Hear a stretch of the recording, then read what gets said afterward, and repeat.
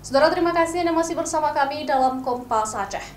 Kota Banda Aceh mulai marak terpasang baliho calon presiden maupun calon legislatif tertentu yang bakal maju di pemilihan umum 2024. Panitia Pengawas Pemilu Aceh menghimbau agar peserta pemilu menahan diri untuk tidak mencuri start kampanye, meskipun sosialisasi diri tidak dilarang.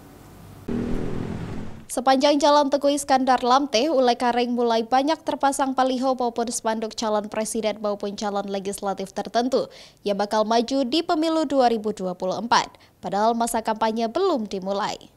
Selain baliho calon legislatif, juga terpampang baliho maupun spanduk berupa foto calon presiden Anies Baswedan dan Prabowo. Menurut Panwasli Aceh, tahapan pemilu saat ini belum masuk kategori pencapresan karena pendaftaran calon presiden dan wakil presiden akan dibuka pada November 2023 mendatang.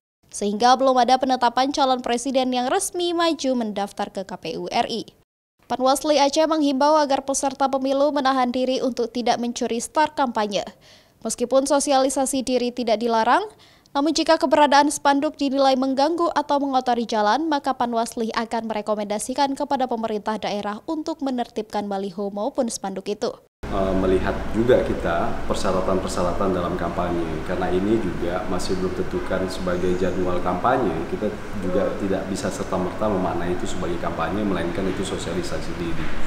Selama dia tidak ada ajakan untuk memilih, lalu kemudian tidak ada visi misi itu akan kita anggap sebagai sosialisasi diri tapi untuk menjaga agar uh, semua calon peserta pemilu baik itu uh, anggota DPR, anggota calon anggota DPR maupun calon presiden tertentu itu misalnya agar uh, terjadi rasa keadilan kami menghimbau untuk menahan diri dari tidak melakukan kampanye melainkan ya silahkan melakukan sosialisasi diri yang diperbolehkan menurut peraturan perundang-undangan. Maraknya spanduk maupun baliho yang beredar saat ini masih digolongkan pada sosialisasi awal dari partai politik maupun kontestan pemilu.